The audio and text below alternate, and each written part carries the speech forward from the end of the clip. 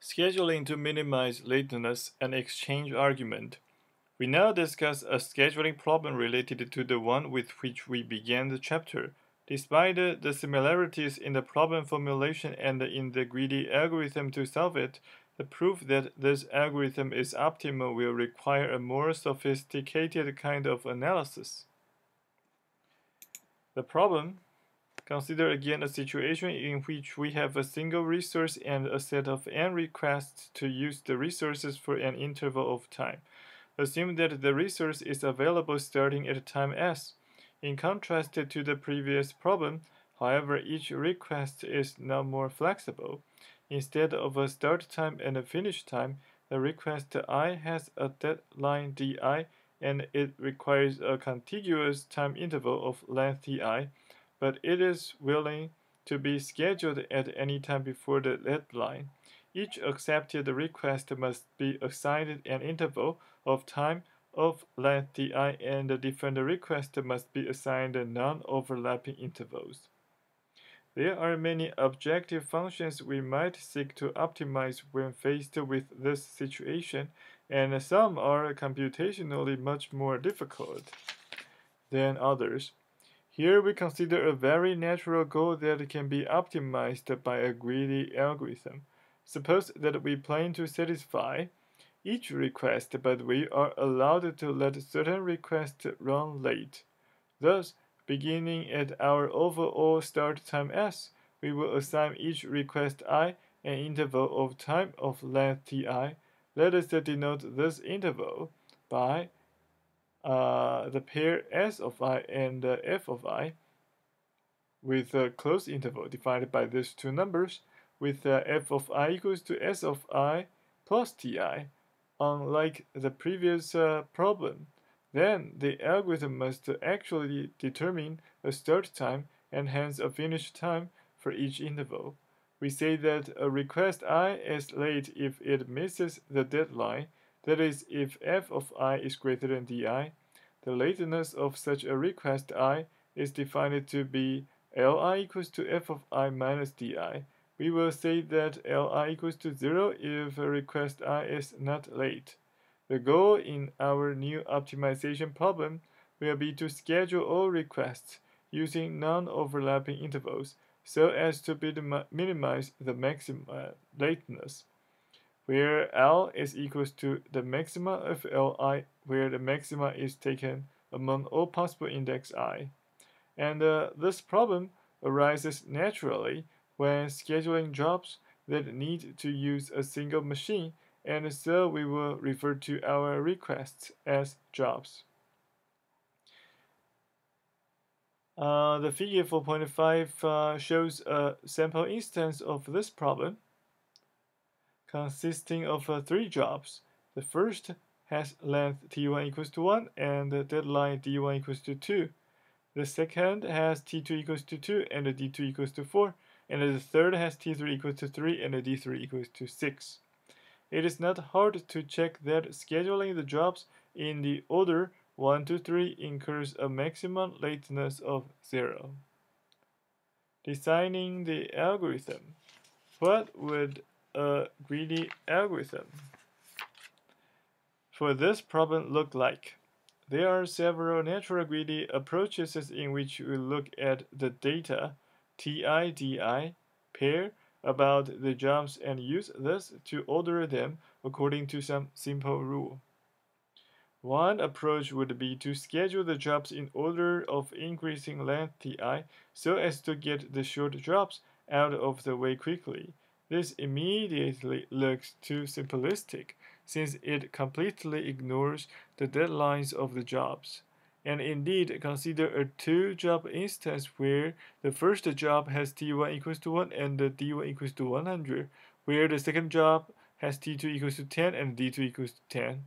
Then, the second job has to be started right away if we want to achieve lateness L equals to 0 and uh, Scheduling the second job first is indeed the optimal solution. The previous example suggests that we should be concerned about jobs whose available slack time di minus ti is very small. They are the ones that need to be started with minimal delay. So a more general, a more natural greedy algorithm would be to sort jobs in order of increasing slack di minus ti. Unfortunately, this greedy rule fails as well. Consider a two-job instance where the first job has t1 equals to 1 and d1 equals to 2, while the second job has t2 equals to 10 and d2 equals to 10. Sorting by increasing slack we would place the, the second job first in the schedule and the first job would incur a lateness of 9. It finishes at time 11, 9 units beyond its deadline. On the other hand, if we schedule the first job first, then it finishes on time and the second job incurs a lateness of only 1. There is, however, an equally basic greedy algorithm that always produces an optimal solution. We simply sort the jobs in increasing order of their deadlines di and schedule them in this order. This rule is often called earliest deadline first. There is an intuitive basis to this rule. We should make sure that jobs with earlier deadlines get completed earlier. At the same time, it's a little hard to believe that this algorithm always produces optimal solutions, specifically because it never looks at the length of the jobs. Earlier, we were skeptical of the approach that sorted by length on the grounds that it threw away half the input data, i.e., the deadlines, but now we are considering a solution that throws away the other half of the data. Nevertheless, earliest deadline first does produce optimal solutions, and we will now prove this. First, uh, we specify some notation that will be useful in talking about the algorithm. By renaming the jobs if necessary, we can assume that the jobs are labeled in the order of their deadlines. That is, we have d1 less than equals to d2 and so on, which is less than equals to dn. We will simply schedule all jobs in this order. Again, let S be the start time for all jobs. Job 1 will start at time S equals to S of 1 and end at time F of 1 equals to S of 1 plus T1.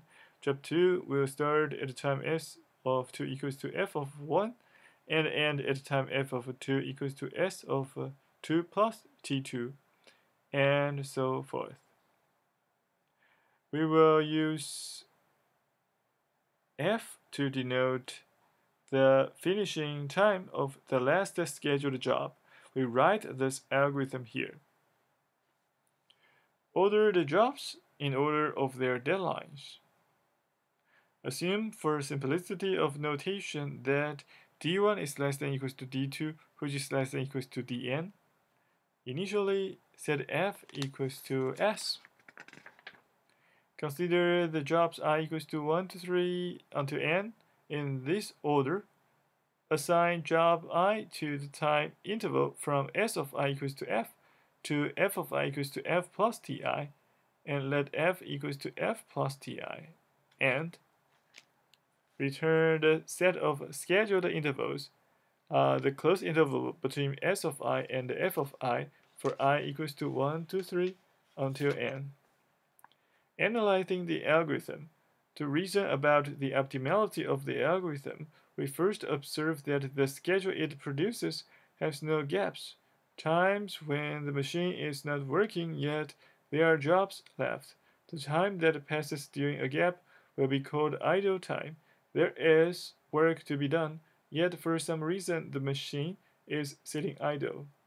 Not only does the schedule I produced by our algorithm have no idle time, it is also very easy to see that there is an optimal schedule with this property. We do not write down a proof for this. 4.7 There is an optimal schedule with no idle time. Now, how can we prove that our schedule A is optimal? That is, its maximum lateness L is as small as possible. As in previous analysis, We will start by considering an optimal schedule O. Our plan here is to gradually modify O, preserving its optimality at each step, but eventually transforming it into a schedule that is identical to the schedule A found by the greedy algorithm. We refer to this type of analysis as an exchange argument, and we will see that it is a powerful way to think about the greedy algorithm in general. We first, We try characterizing schedules, schedules in the following, way. We We, say say that that a schedule A prime has an inversion, uh, if if a job job I with deadline di is scheduled before another job j with the earlier deadline dj, which is less than di. Notice that by definition, the schedule A produced by our algorithm has no inversions. If uh, there are jobs with uh, identical deadlines, then there can be many different schedules with no inversions. However, we can show that all these schedules have the same maximum lateness L. 4.8 All schedules with no inversions and no idle time have the same maximum lateness.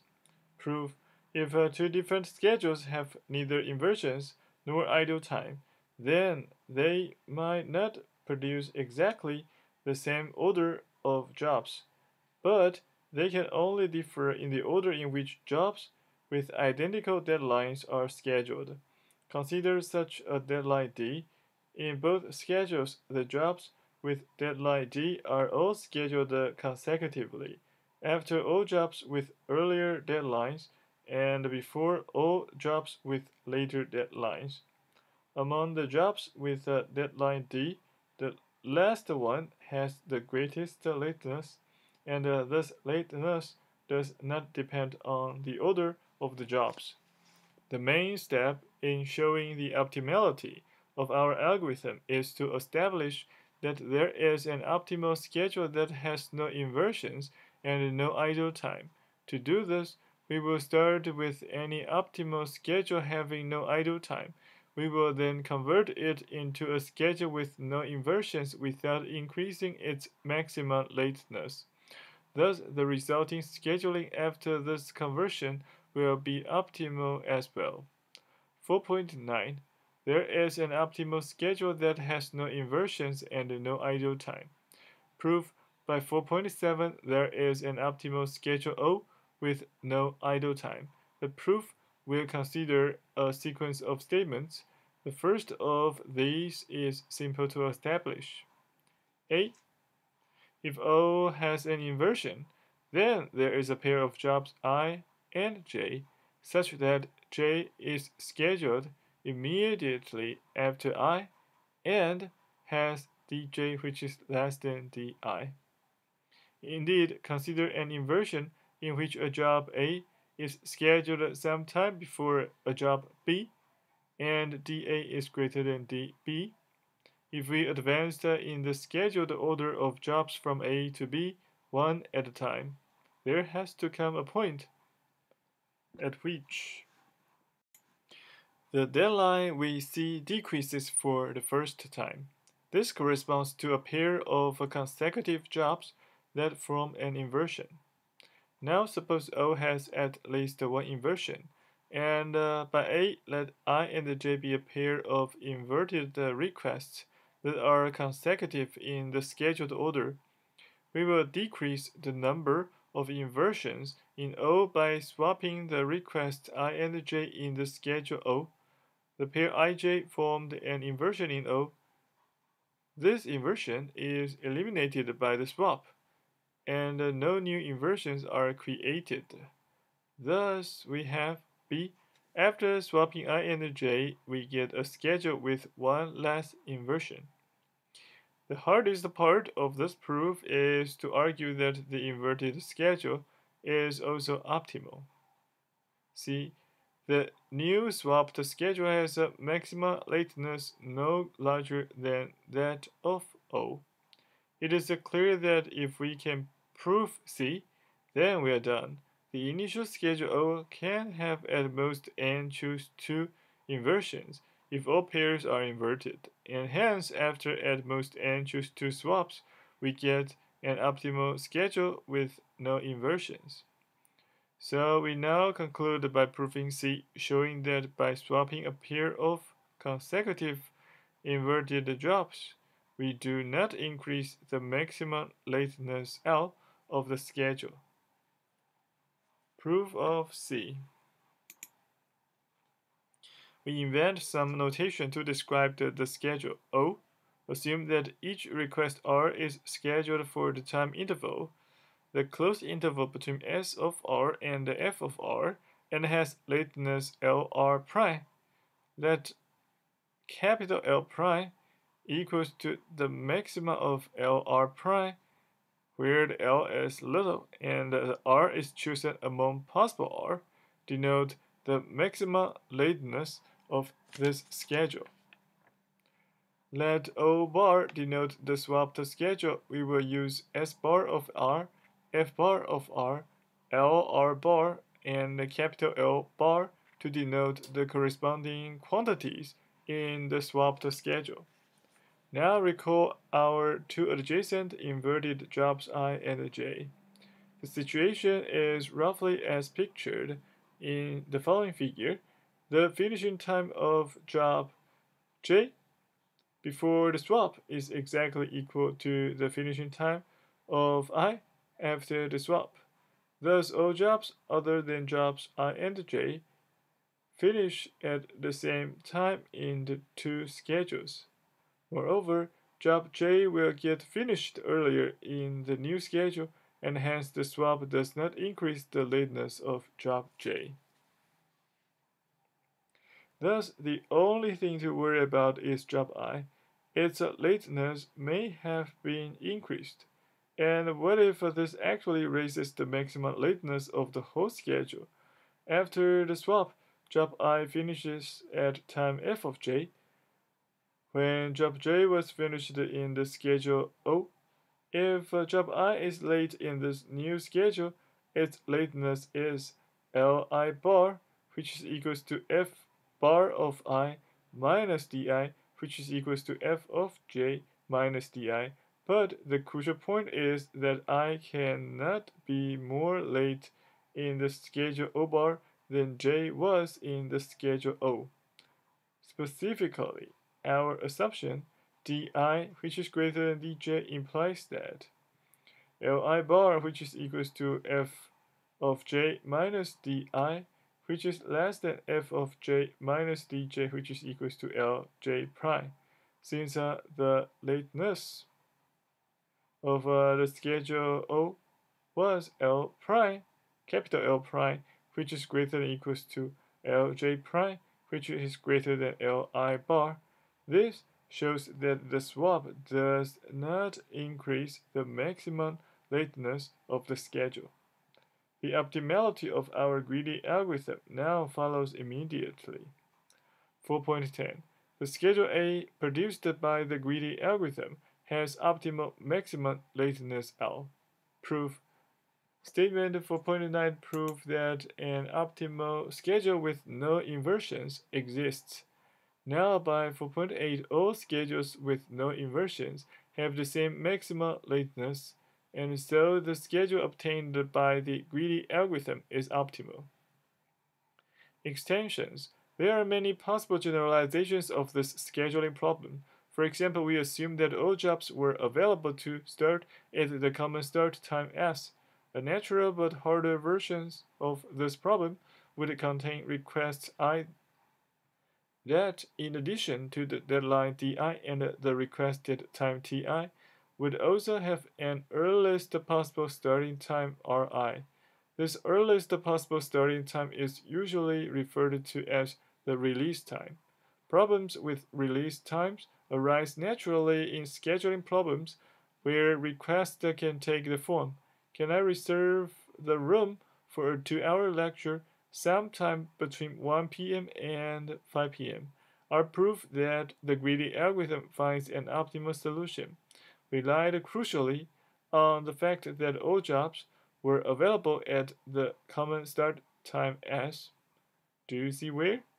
Unfortunately, as we will see later in the book, in chapter 8, this more general version of the problem is much more difficult to solve optimally.